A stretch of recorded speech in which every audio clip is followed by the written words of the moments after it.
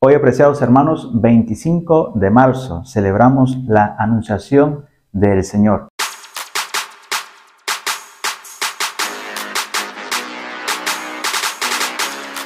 Este gran misterio en nuestras vidas es fácilmente la gran palabra que nos llega a nuestro corazón es esa frase que nos regala Lucas. Alégrate, llena de gracia, el Señor está contigo. Es la palabra, el saludo del ángel que le da a María.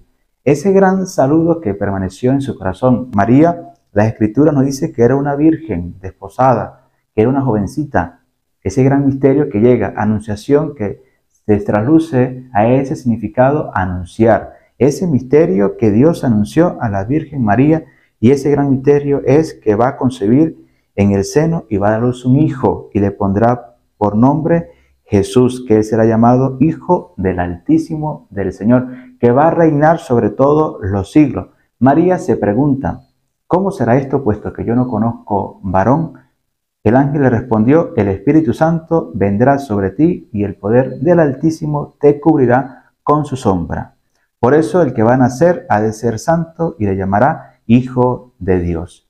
Y el ángel le da pruebas a María de la obra de Dios le dice, mira, tu pariente Isabel, a la que llamaban estéril, está en el sexto mes. María simplemente no dijo más que decir, he aquí la esclava del Señor, hágase en mí según tu palabra. Que este misterio que hoy contemplamos de la Anunciación nos recuerde que estamos también llamados a una vida alegre, a asumir nuestra vida en la fe, a no ser cristianos cobardes, a asumir la misión como María, asumir la misión también de ver el camino de la fe. María Simplemente aquí la esclava del Señor, hágase en mí según tu palabra. Somos nosotros capaces de decirle al Señor, aquí estamos, Señor, tus siervos, tus amigos, tus hijos. Estamos aquí, Señor, para hacer siempre tu voluntad y estamos preparados en ese misterio de anunciación y de alegría para vivir las pruebas de la fe, así como María las vivió, pero que también María es bienaventurada, es dichosa, es la nueva Eva es la madre de todos los cristianos. Hoy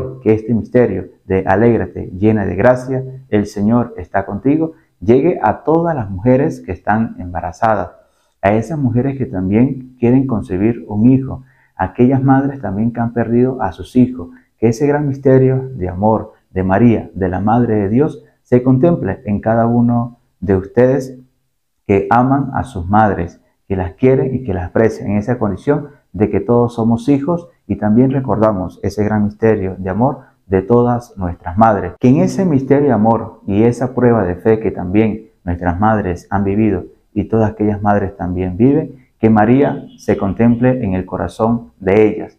Y recordamos también de esa alegría que muchos niños se la han apagado, esos niños que las ideologías han puesto malos conceptos, malas definiciones sobre el aborto y le llama interrupción de vida. Simplemente eso se llama es matar. Eso es una vida.